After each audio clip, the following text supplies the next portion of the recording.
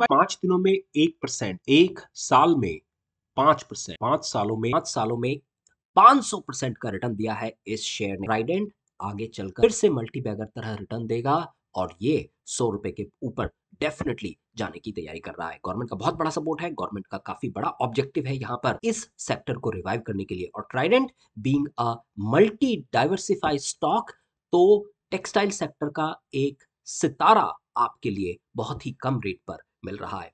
Trident का investment की अगर बात की जाए तो देख ट्राइडेंट के होम टेक्सटाइल कंपनी ने, जो कि एक सब्सिडरी है ट्राइडेंट ग्लोबल बीवी में इन्वेस्ट किया है, जो होलसेल बिज़नेस टेक्सटाइल प्रोवाइड करती है paper non food consumption goods and clothing accessories Europe के एरिया में इसको निवेश किया है। अब क्या है एडवांटेज यहाँ पर इसको करने के लिए?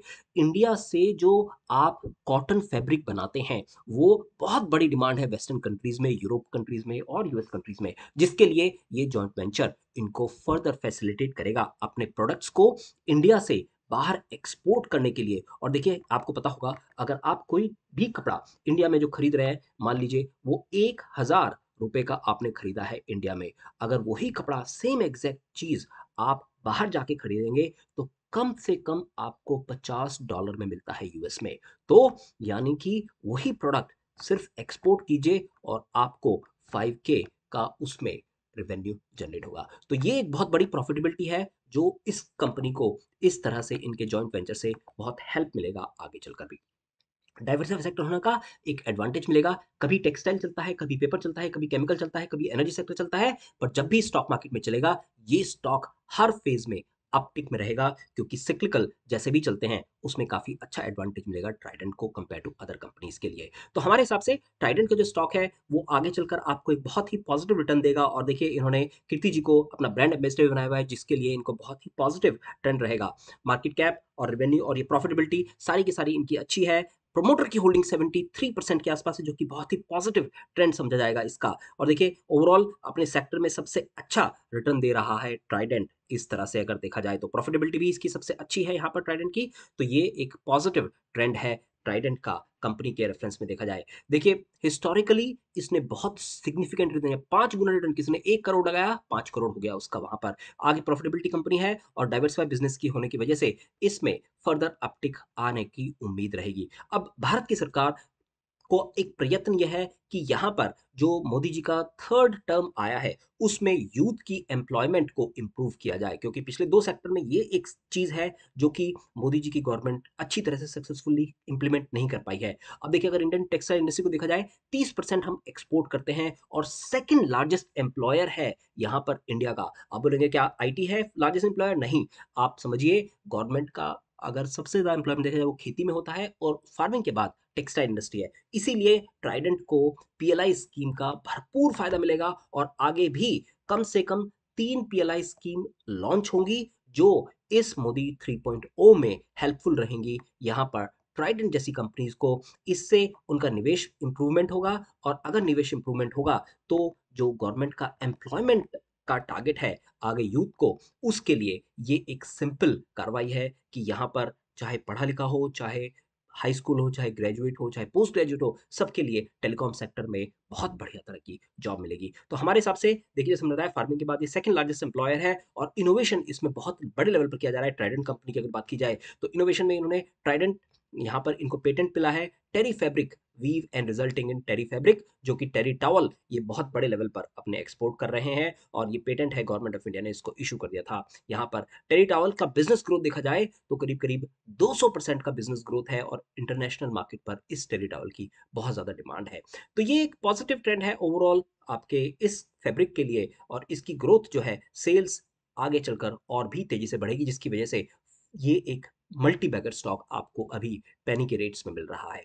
एग्जिस्टिंग अर्न कैपेसिटी जो बुधिनी मैन्युफैक्चरिंग यूनिट है, उसकी करीब करीब पाँच मिलियन के आसपास बढ़ा दी गई है इन्होंने यहाँ पर और इसको कैपेसिटी करीब करीब 82 परसेंट यूटिलाइजेशन पर चल रही है, जो कि बहुत बढ़िया है इनके लिए। यूटिलाइजेशन अगर देखा जाए जनरली अगर आप आलोक इंडस्ट्रीज़ की जैसी कंपनीज़ को ट्रेड करें तो वो उनका यूटिलाइजेशन मैक्सिमम 50 टू 60 परसेंट रहता है। तो ये कंपैरिजन देखे जाएँगे तो आपको मशीन तो आपकी लगी हुई है, वहाँ पर मशीन का सारा कॉस्ट है। ऑपरेटिंग कॉस्ट अगर आपकी एफिशिएंसी 82 परसेंट पर ऑपरेट कर रही है कंपेयर टू 50 परसेंट के तो ये आलोक इंडस्ट्रीज़ के मुकाबले काफ़ी अच्छा स्टॉक माना जाएगा इस पैरामीटर के बेसिस पर। देखिए, इन्होंने इन्वेस्टमेंट किया था करीब करीब आठ सौ तीस करोड़ का और यहाँ पर जो इनकी टर्म लोन रेज किए हैं, वो इनिशियली थोड़ा सा एक्सपेंस रहेगा, जिसकी वजह से प्रॉफिटेबिलिटी थोड़ी कम दिखाई देगी बट आगे चलकर ये यूनिट बढ़ रही है और इसका प्रॉफिटेबिलिटी बहुत ज़्यादा रहेगा।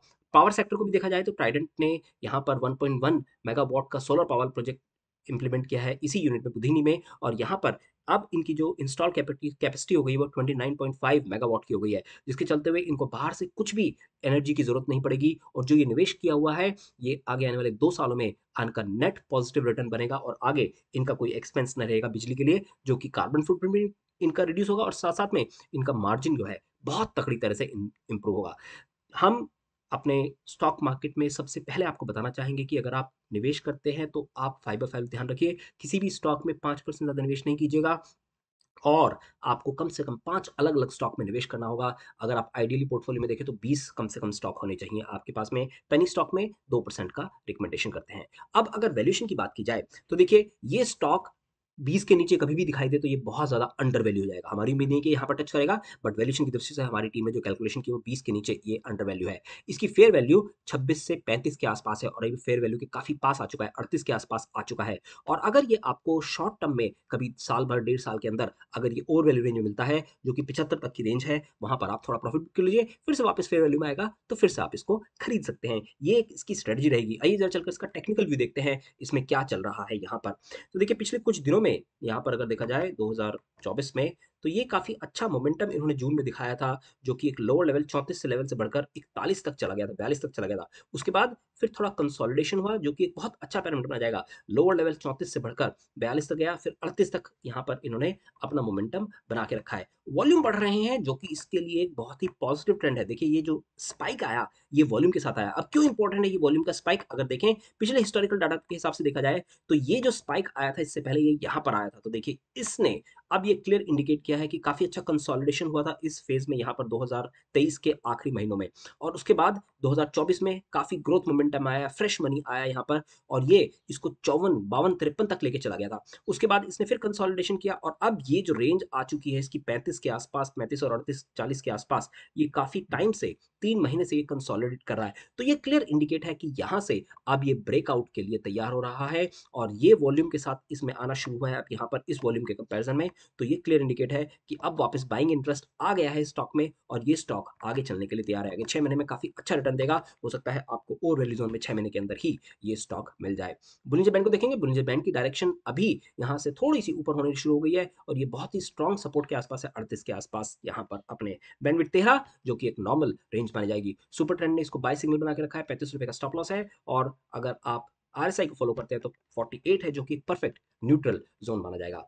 अगर मूविंग एवरेज को देखा जाए तो मूविंग एवरेज के बेसिस पर इसका 50 डे मूविंग एवरेज के अभी नीचे चल रहा है तो जैसे ही ये इसका फिफ्टी मूविंग एवरेज जो कि 38 के आसपास है 39 के ऊपर क्रॉस करता है तो ये लॉन्ग टर्म मूविंग एवरेज 200 के ऊपर पहुँच जाएगा, जो कि एक पॉजिटिव ट्रेंड रहेगा। अब काफ़ी लोग हमसे पूछते हैं कि, सर, ये आप ट्रेंड कैसे निकालते हैं? देखिए ट्रेंड बहुत सिंपल है। आपने पिछले दो साल, तीन साल का एक एक ओवरऑल ट्रेंड बनाया, ये वीकली चार्ट है, आपको दिख रहा होगा।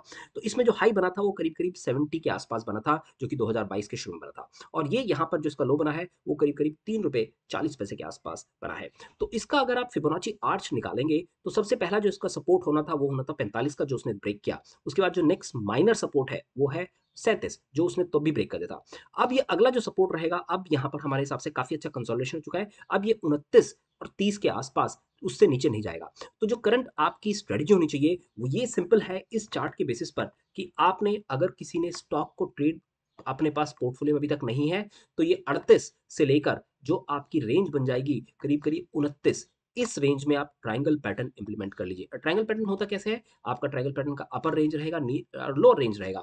आपको इस तरह से खरीदना है इस रेंज में कि ऊपर की रेंज में कम खरीदेंगे, नीचे की रेंज में ज़्यादा खरीदेंगे, ताकि आपका जो सेंटर है, जो एवरेज है, वो इस ट्राइंगल की सेंटर ऑफ़ ग्रेविटी के आसपास रहे।